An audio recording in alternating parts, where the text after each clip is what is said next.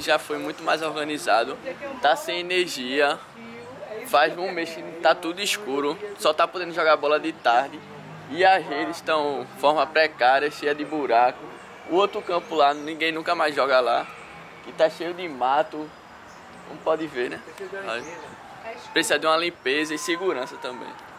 Já é a segunda vez que acontece isso. Roubaram a fiação todinha dos refletores.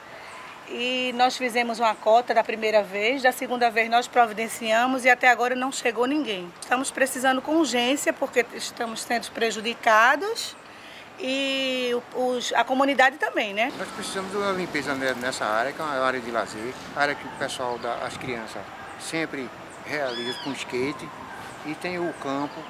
À noite não, não podemos jogar porque está sem iluminação e precisamos da prefeitura querer dar uma executar sobre essa iluminação. A situação do campo é essa daí, precária. A bola está passando aqui para a pista, passa para dentro da igreja.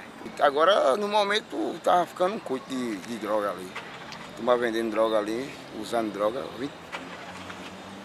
Só está servindo para isso mesmo, tá bom ser eliminada ela, né?